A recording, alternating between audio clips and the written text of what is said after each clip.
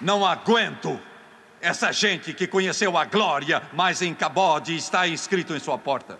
Deixe-me dizer isso. Vocês estão numa jornada. E essa jornada vai levá-los a algum lugar. Lança-te ao mar fundo, Jesus disse. Distancie-se da praia, Pedro. Venha, Tiago, empurre o seu barco. Os peixes grandes estão lá fora, onde é fundo, e lance a sua rede para a pescaria. Só há uma coisa que vai poder salvar o Pentecoste, e não é mais seminários, não é mais igrejas, não é mais pregadores, não é mais doutores em divindade, e sim pregadores cheios do Espírito Santo, com o poder do Todo-Poderoso em sua alma e em seu espírito.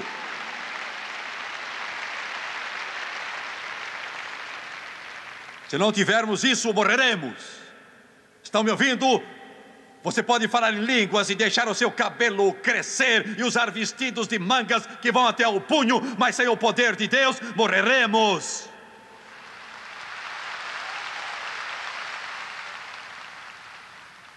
Ergam templos de milhões de dólares, com conforto e ar condicionado, mas sem o poder de Deus, morreremos. Sou considerado um antiquado. Sou tido por um fóssil. Vocês ainda acreditam nessa bobagem de levantar as mãos e coisas semelhantes a isso?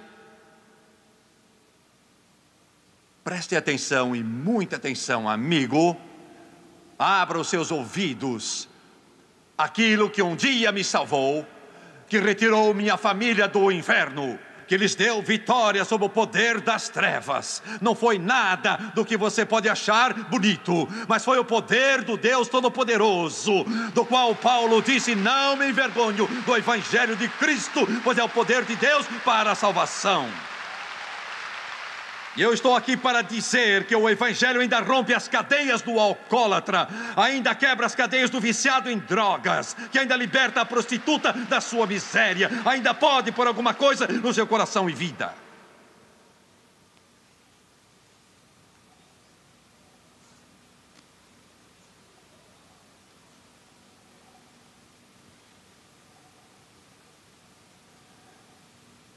Mas se o Evangelho de Jesus não muda homens, livremos-nos dele. Mas ele muda. É. E se o que está sendo pregado não muda homens, não é o Evangelho. E não quero conversa com esses crentes com um pé no mundo.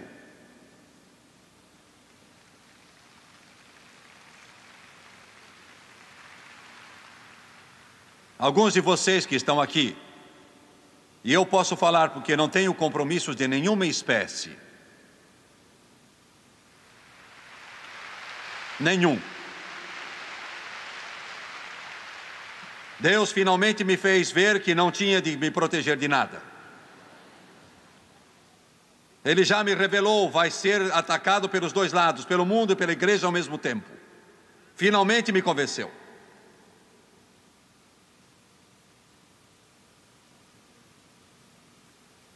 Estou cansado de ver crentes exclamando: Eu gosto dessa música moderna.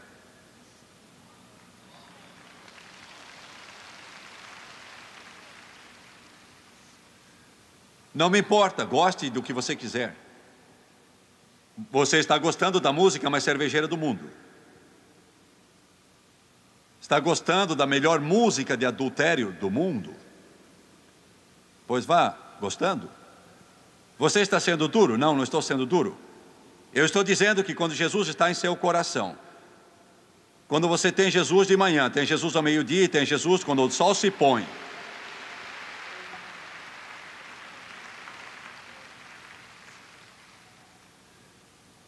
Você não se interessa mais por essas coisas.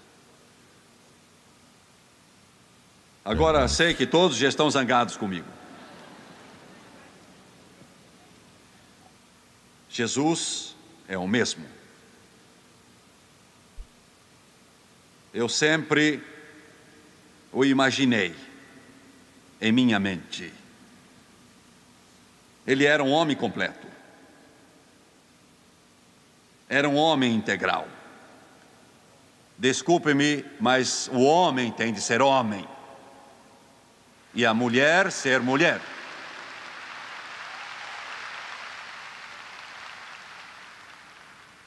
Eu não dou muita bola para esses que não se podem dizer o que são.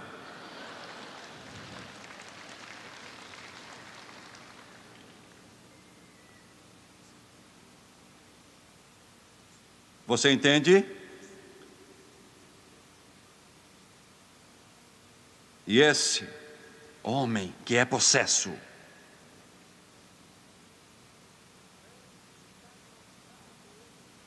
vem e cai prostrado aos pés de Jesus Cristo e o adora. Tinha mais juízo que muitos crentes.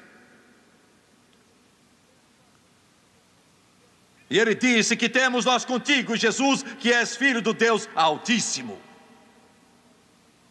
Porque vens atormentar-nos antes da nossa hora. Jesus estendeu sua mão e o tocou.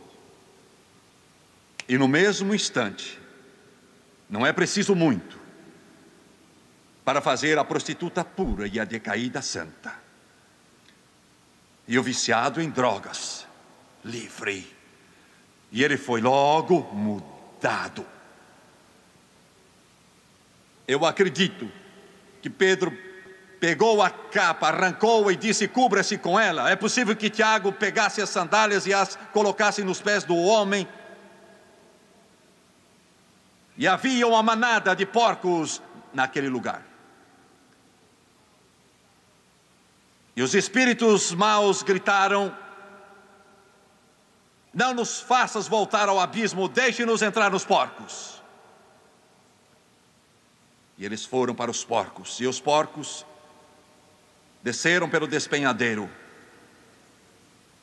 e se atiraram no mar da Galileia e morreram. Quase dois mil deles.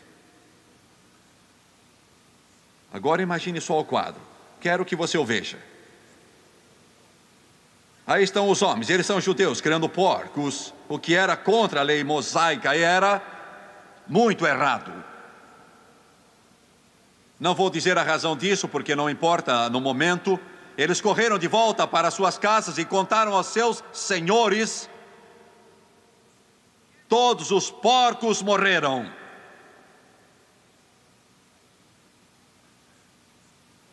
Aleluia. Você não vai ficar feliz quando os bares se fecharem, por não venderem mais bebidas. Não vai ficar feliz, contente mesmo, quando os traficantes se forem, você não vai ficar contente quando os fornecedores de filmes pornográficos não puderem mais apresentar sua sujeira, não vai se alegrar. Isso vai chegar, estejam certos, vai chegar. Jesus Cristo é o mesmo, Jesus que expulsou os demônios do louco, ele vai voltar. E ele vai expulsar o diabo da terra e vai mandá-lo ao inferno. Aleluia. Muito bom. E eles correram. Correram. Tinham muito dinheiro empatado nos porcos.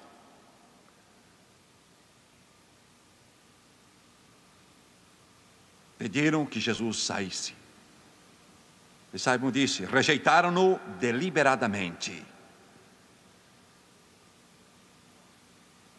Eles preferiram ter seus porcos do que ter Jesus. Agora prestem atenção aqui, e bastante atenção. Eu conheço um pouco mais do que acontece aqui no nosso país do que a maioria de vocês. Eu prego a milhões de pessoas toda semana na televisão e sou grato a Deus pelo privilégio de fazê-lo. Eu tenho amor aos Estados Unidos e ao Brasil. E a esses países para onde o nosso programa vai, e perdoe-me por exaltar agora as virtudes do meu país. Opa. Mas este povo tem tido mais evangelho do que qualquer outro país na face da terra. Eu julgo que os Estados Unidos da América, nos últimos cinco anos, chegou ao ponto de fazer uma decisão. E eu acredito que essa decisão precisa ser deliberada. Uma decisão calculada e fria e eu tremo quando digo isso, sofro por dentro, mas é a decisão de dizer: nós não queremos Deus, não queremos a Bíblia. Tirem-na das escolas, afastem nossos filhos da sua influência, legalizem o crime em nossos hospitais e chamem no aborto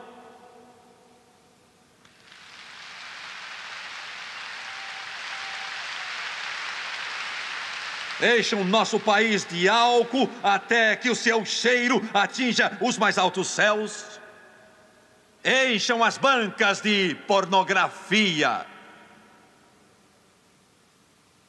Zombem de Deus. Riam dele, ridicularizem e satirizem Jesus. E como aqueles homens, de modo frio e calculado, não num acesso de raiva, ao contrário, deliberadamente olharam para Jesus e disseram: saia. Jesus, não te queremos. Eu sofro muito. Eu intercedo, eu, eu rogo a Deus que os Estados Unidos da América não façam essa terrível decisão de dizer: Jesus, não te queremos mais, saia porque eu quero dizer-lhes que toda liberdade, toda bênção que temos conhecido neste país é por causa do nosso amor e respeito a Jesus Cristo. E se o perdermos, teremos perdido tudo quanto já conhecemos ou tivemos. Eles o rejeitaram, e você? Você tem de fazer uma decisão, sabe?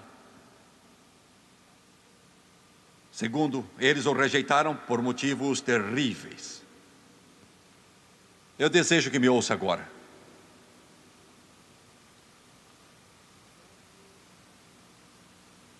Todo indivíduo neste mundo que jamais tomou decisão contra Deus, a alternativa que ele preferiu foi a mais triste, a mais degradante e suja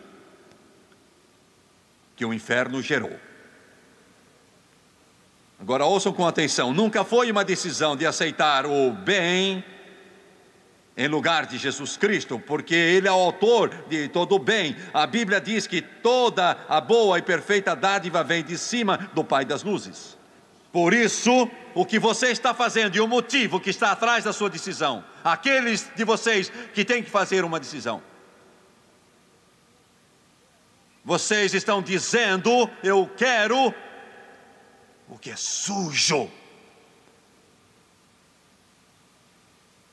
Eu vou dizer uma coisa que vai chocar alguns de vocês. A Bíblia diz que o homem olha para o exterior e Deus olha para o coração. Agora ouça com atenção.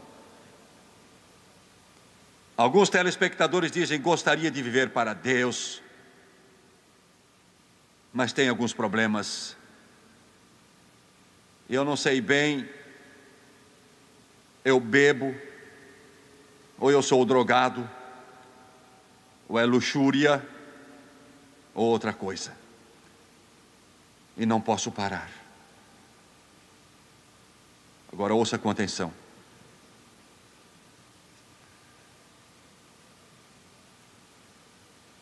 Deus vai ter muita paciência com uma pessoa que está cometendo algum pecado muito grave, se essa pessoa no seu coração detesta e quer deixar o pecado. Está ouvindo o que eu digo? Ele andará a segunda, terceira, quarta, centésima milha com essa pessoa. Mas nunca com o que diz eu não quero deixar isso. Não quero. Conversei outro dia com um homem, apelei para ele com lágrimas clamei, chorei, solucei com ele. Eu disse: por quê? Por amor ao céu, por amor a Deus, porque não aceita Jesus. E, e quando finalmente cheguei ao fundo, e quando finalmente eu cheguei à raiz, como alguns de vocês, ele disse: Jimmy Swagger, E ele falou algo que eu tenho de expressar de modo muito diplomático. Estou envolvido na perversão sexual e não quero deixá-la. E ele me contou o que fazia. Tinha uma posição em milhões o conhecem Ele disse: Não quero deixar isso.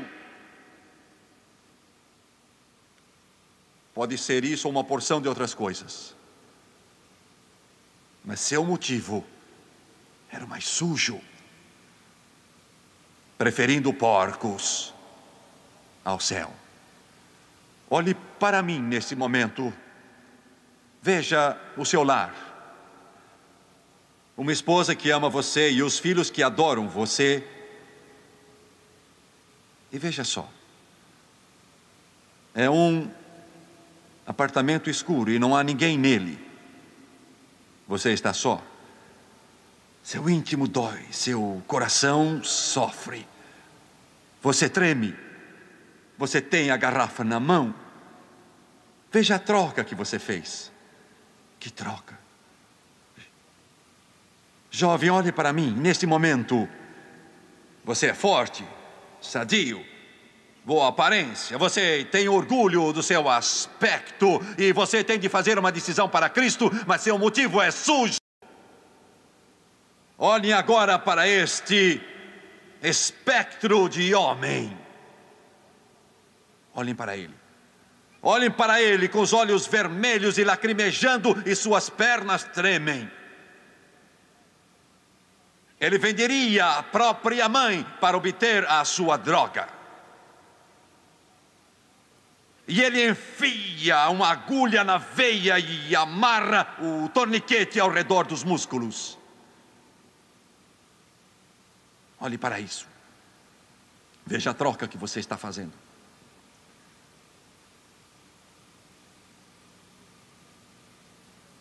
O motivo deles, quando disseram Jesus, sai daqui. O motivo era sujo. E por último, eles o rejeitaram para todo sempre. Não há nenhuma referência bíblica de que Jesus Cristo tenha voltado. Quero que você veja.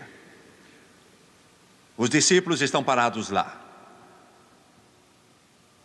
50, 100, 150 homens estão ali, são os donos daqueles porcos. Eles veem o louco vestido em perfeito juízo, o olhar infernal se foi dos seus olhos e eles têm medo e eles não querem Jesus lá. Alguns jornalistas dos Estados Unidos preferem ter esses viciados em drogas nos palcos promovendo canções que exaltam sexo, sexo ilícito e drogas e sujeira a terem o Evangelho de Jesus Cristo.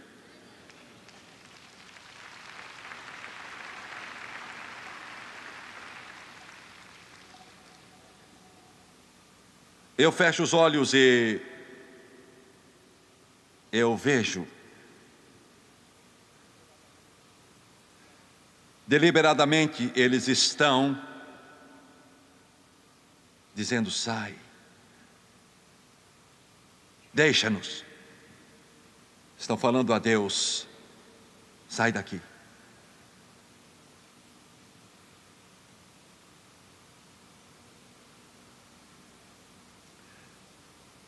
E Marcos, Mateus ou Lucas não declaram que Jesus respondesse Ele não disse: Eu vou pregar onde quiser, eu vou fazer milagres onde desejar. Não disse nada. Ele saiu. Foram bem-sucedidos. Ele nunca voltou. 40 anos depois, os romanos chegaram àquela terra e mataram milhares. Agora ouçam o que eu digo: muitos de vocês não sabem, talvez ninguém saiba disso. Eles escolheram porcos, em vez de escolherem Jesus Cristo. Depois que as grandes legiões romanas atravessaram Gadara, porcos selvagens, aos milhares e milhares, ocuparam essa terra. E por mil e novecentos anos, esses porcos loucos, aos milhares, ficaram fuçando toda aquela região que conhecemos como sendo Gadara. Por mil e novecentos anos, até parecer um campo minado.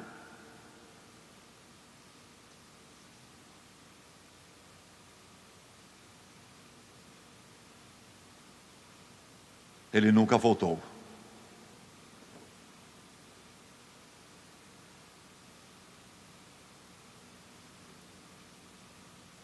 Jesus disse: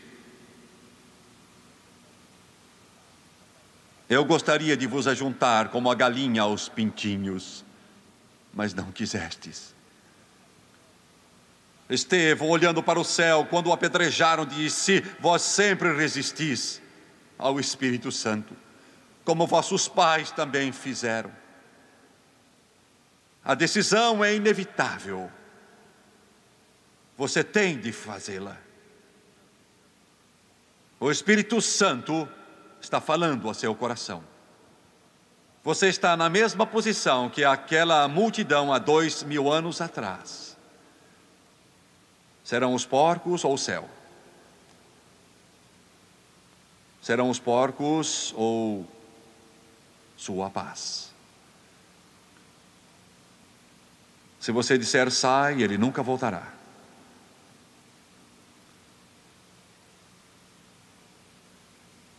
Curvem a cabeça, por favor.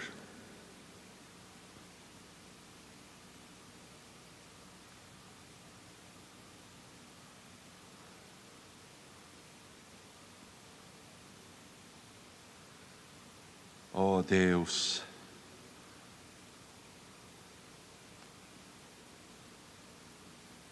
Oh Deus. Oh Jesus.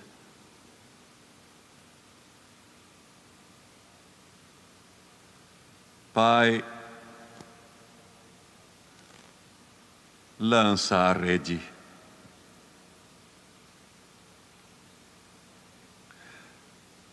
Apanha este que está sendo levado pelo vento e tempestade. esse telespectador, amado Deus,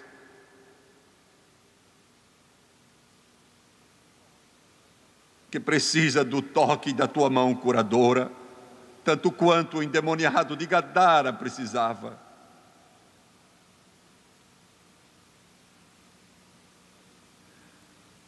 Curvem a cabeça, fechem os olhos.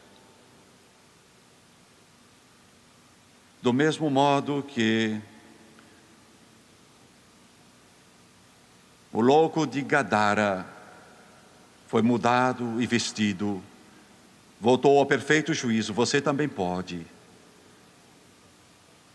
E do mesmo modo que a multidão pediu a Jesus que não voltasse mais, você escolhe. Oh Deus, é sua escolha. Cada homem aqui cada mulher, cada jovem, cada criança. Eu sinto em meu espírito, tenho sentido o dia todo, eu sinto, eu tenho orado, clamado, tenho orado todo dia. Deus opera hoje. Opera em Knoxville, Tennessee, nos telespectadores, fala essa alma imortal. Eu senti isso. Eu senti que isto é mais do que um apelo.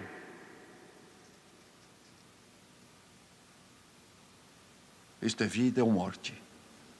Vir ou se afastar. Eu creio nisso. Eu não falo com leveza ou leviandade, mas eu falo. Quantos nesse auditório eu não vou tomar tempo rogando, implorando, só vou fazer o que o meu mestre fez. Você, telespectador, eu vou falar a estas pessoas aqui e como estou falando a elas, eu falo com você.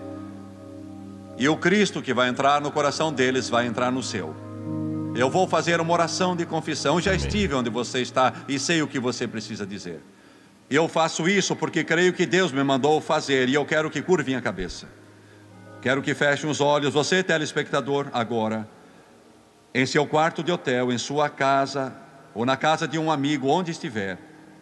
Este é um grande momento para você com Deus. Verdade. Ele mudará a sua vida libertará o cativo. Vou pedir que você curve a cabeça e feche os olhos, por favor.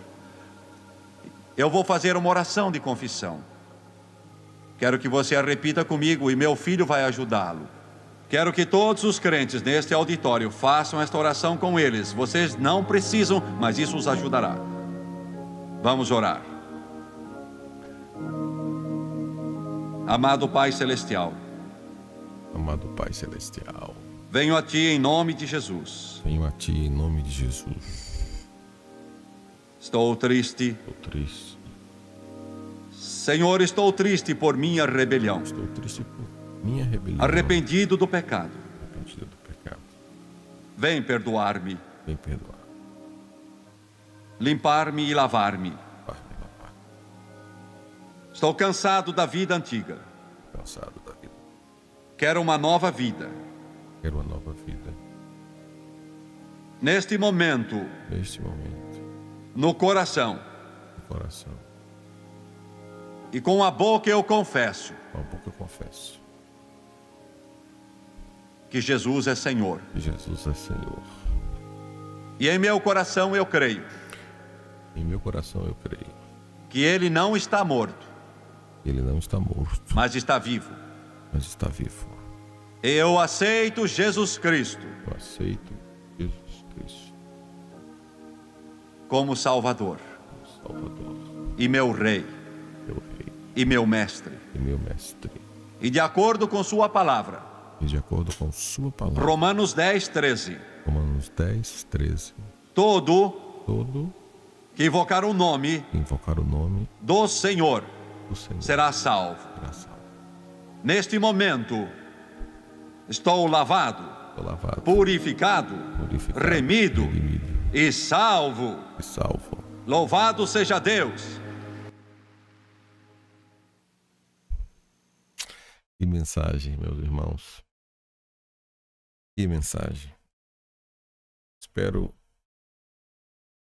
que você tenha gostado dessa mensagem de hoje. Que mensagem nós ouvimos, nós assistimos hoje. Eu toda vez quando eu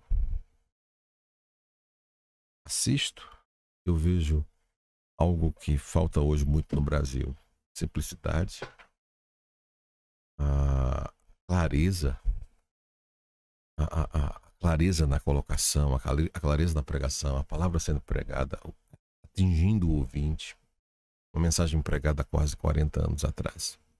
Espero que você tenha gostado, que Deus possa te abençoar de uma forma rica e poderosa. Você curtir, compartilhar e também se inscrever aqui no nosso canal Teologia ao Todos, Formação de Pregadores, Lenilberto Miranda. Bom, e se desejar fazer um curso de teologia básico em teologia, médio em teologia, bacharel, livre em teologia com mais de 40 disciplinas e um curso de oratória e interpretação bíblica para você aprender a pregar, é só você acessar o nosso site teologiaalcancetodos.com.br. Deus abençoe e até o próximo React.